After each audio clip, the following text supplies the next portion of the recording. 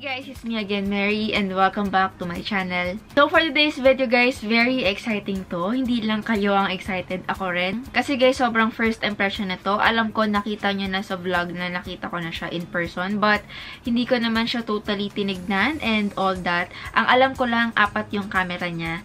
Ayan, may clue na kayo. Well, anyway, alam niyo na dahil sa title. Pero, alam ko lang, apat yung camera niya. And that's it. Wala. Sobrang clueless ko kung ano bang meron sa phone na to. And yes, you guys are right. I will be unboxing and giving a quick review on the newest Samsung Galaxy A9. The very first smartphone with quad-core camera. Wow, grabe. Padami ng padami yung camera na nauuso ngayon. Ano ba, this 2019 ba magiging lima na? Paramihan na ba ng camera ang labanan ngayon sa cellphone? And pansin ko guys ha, medyo, hindi pala medyo, may kamahalan itong phone na to. And hindi ko alam kung saan ko ba siya dapat i-place. Like, sa mid-range phone ba kasi hindi siya pang mid-range phone guys eh.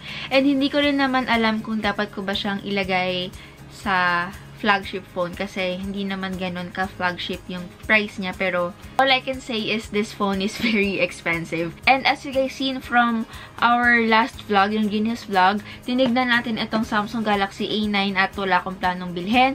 But then again, since ang daming nagre-request nito, I might as well give it a try, bigyan ng review kasi nakaka-curious talaga. And ayoko nang tinitignan ko na lang siya sa mall. Finally, hawak na natin siya. And yes, guys, it cost 32,990 And for an A series, worth it ba? Malalaman natin yan guys mamaya. By the way guys, this Samsung Galaxy A9 has three available colors. We have the lemonade blue. Ito yung itsura niya guys. And then we have the caviar black. And ito rin yung itsura niya. And finally, we have the bubblegum pink. By the way guys, basahin ko lang sa inyo yung kanyang spec sheet sa likod na nakalagay. A little overview lang sa phone. So what we have here is the Samsung Galaxy A9 with 128 gigabytes of internal storage. And it has quad camera. So meaning apat. And then we have Infinity Display and it has 4G Lite with octa-core processor and it also has 6 gig of RAM. So, ayan, malaki-laki siya. Dapat lang kasi this is 32,000.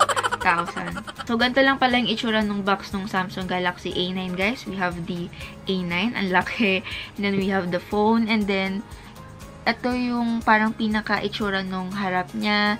And then, of course, naka-sealed siya. And then, this is how the back look.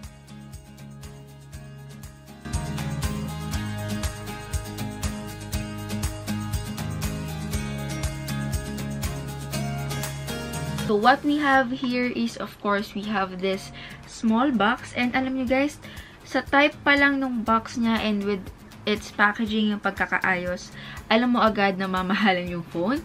Inside is, we have, of course, muna yung SIM ejector pin, yung ating panundot.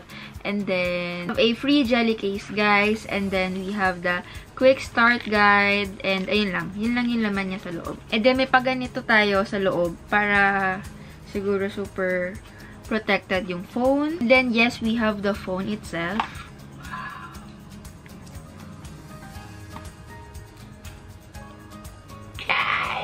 Before the phone, guys, let us first check the accessories. Siyempre, importante yan. First, we have the charging brick. And yes, guys, this is a fast charger. Thank God. Pero syempre, dapat lang because this is so expensive.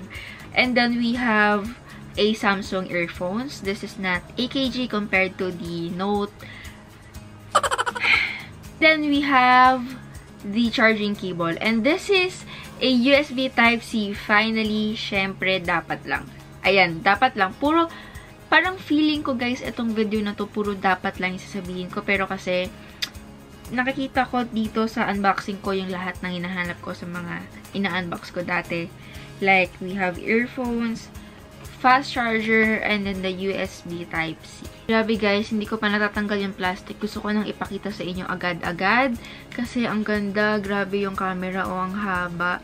Apat nga talaga. Pero alam nyo guys, with its camera setup na apat yung camera niya, I feel like it is for photographers or yung mga taong mahilig mag-Instagram or not even Instagram. Like, basta mahilig ka mag-take ng pictures kasi hindi naman lahat ng tao eh techie. Like, hindi lahat ng tao magigets kung para saan yung apat na camera at hindi lahat ng tao alam kung paano sila gamitin. Considering with the looks of the Samsung Galaxy A9 guys, hindi siya ganun kabago with the A series. Actually, halos lahat ng A series eh ganito naman yung itsura. And actually guys, medyo kahawig niya nga yung Samsung Galaxy A8 2018 so others might find this phone boring but ako guys, hindi ako nabobored by just looking at it. Ayan guys, yung closer look with the phone. Ayan, i-appreciate nyo na. It's really beautiful. And the color even. Alam nyo guys, dalawa yung pinagpipilian ko. It's the lemonade blue and this color. Pero hindi ako nagsisisi na pinili ko to.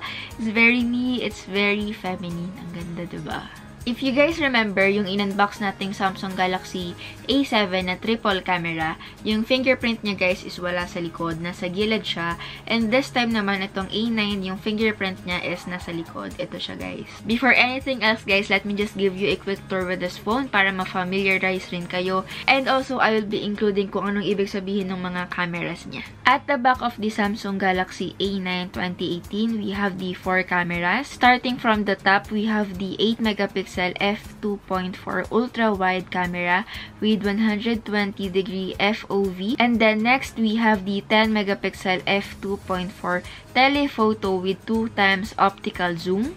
Then, we have the 24 megapixel f1.7 main camera. And lastly, we have the 5 megapixel f2.2 depth camera for live focus. Now, if you guys are wondering kung para saan yung each camera, yung pinakaibabaw na merong wide angle camera is for landscapes and group photos. Next naman guys is the second camera which is the telephoto if you want to get up close to your subject or basically i-zoom in lang niya yung camera mo. Third camera guys is the main camera para naman yun kapag gusto nyong normal lang, yung gusto niya lang mag-take ng photos, yung just the normal camera. Yun. If you want general shooting or if you want low light scenarios, ito yung kailangan nyo, yung main camera. And then lastly guys is the depth camera, yung pinaka-ilalim. It's basically there para lang tulungan yung main camera nyo to adjust the focus. And then yes, we have here the LED flash and then the fingerprint scanner and then the Samsung logo lang. On the topmost part of this phone, guys, is we have the SIM card slot.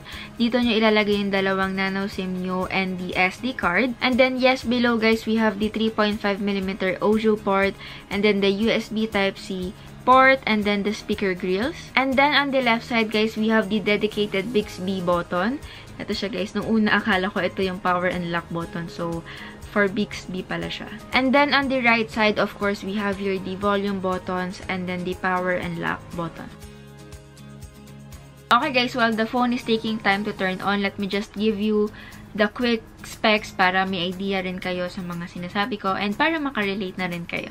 Samsung Galaxy A9 has 6.3-inch FHD Plus at 2220 by 1080p. It has Super AMOLED display at 392 ppi. It has 2.2 GHz quad-core plus 1.8 GHz with 6 GB of RAM and 128 GB of internal storage. And lastly, it has 3,800 mAh battery. So, meron pala tayo guys face recognition and fingerprint scanner.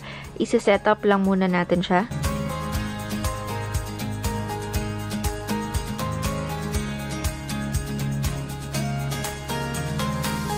Wow! Trinay ko guys yung kanyang face recognition and yung fingerprint scanner.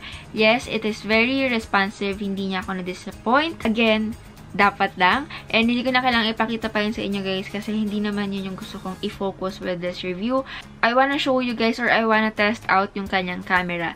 So, yun yung pinaka nakaka-curious talaga. So, doon tayo mag-focus. Ito yung tinatawag nila guys na wide angle camera.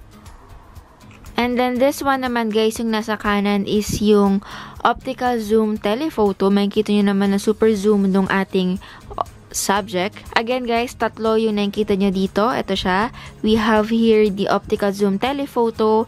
Then we have here the main camera. And then on the left side, we have here the wide angle camera. And then guys, for the live focus, ito siya yung katabi ng auto. I-click nyo lang yon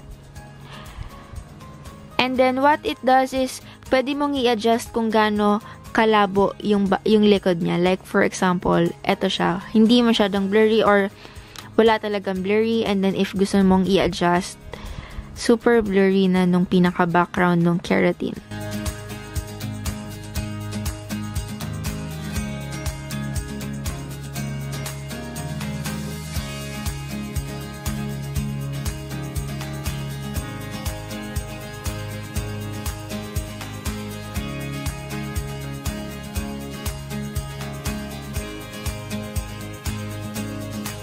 Guys, so seeing these photos, papakita ko na lang sa inyo later on.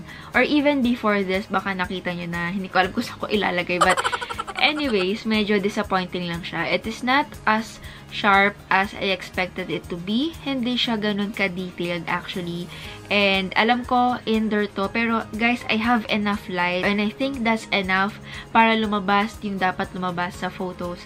And hindi ko na-achieve or hindi ko nakuha yon Nakita nyo naman na guys yung itsura and I don't think nasiyahan ako. But then again, titry ko pa siya tomorrow guys for outdoor photos and videos para talagang ma-justify natin kung okay ba yung camera niya. Kasi malay ba natin guys na apat, oo sabihin natin apat yung camera pero maganda ba? ba diba?